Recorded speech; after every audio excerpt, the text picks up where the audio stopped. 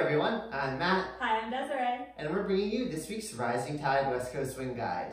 We are counting up to 200 guides, believe it or not, on the Rising Tide West Coast Swing Guide. And we have something very fun for you for these last two guides as we hit 200.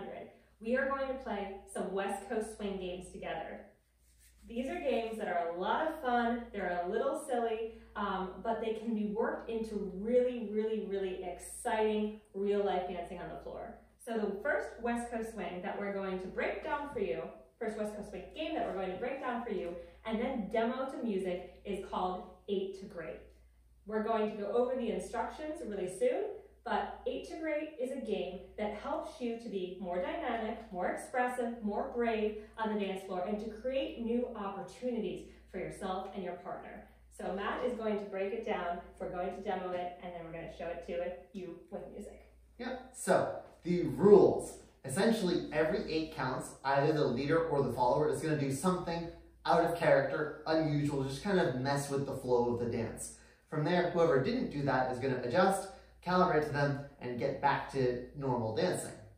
Um, if we're going to demonstrate this, first we're going to have the follower do it three times in a row, then we're going to have the leader do it three times in a row, and then we're going to do it alternating for four eights. When you guys do this in practice, feel free to do whatever combination. You can do all follower, all leader, or alternate, whatever you guys want to do.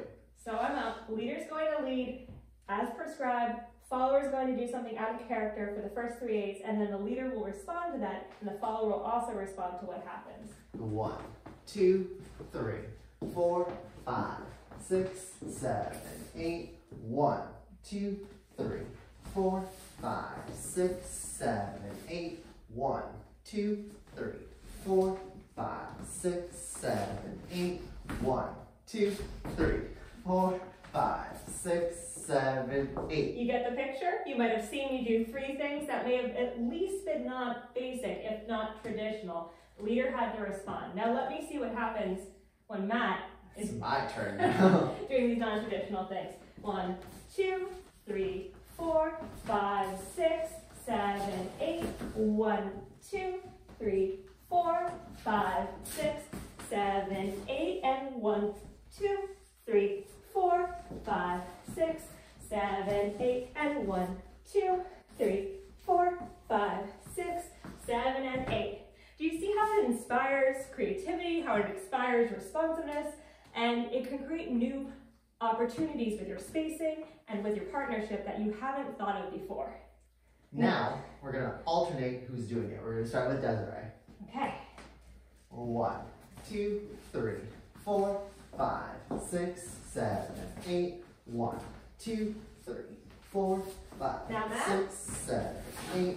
One, two, three, four, five, me. six, seven, eight. One, two, three, four, five, Now, six, seven, eight. One, two, three, four, six, seven, eight. One, two, three, four, five, six, seven, eight. One. There we go. So as you can see, this does not have to be perfect. You will have times where you put yourself in situations you might not have wanted to, but you get through it, you laugh, you enjoy the partnership, and hey, some of those times were actually quite fun, kind of extreme variations on other variations, and so you can say, ooh, maybe I could take me advancing to the next level like this. All right. Now let's check it out with music.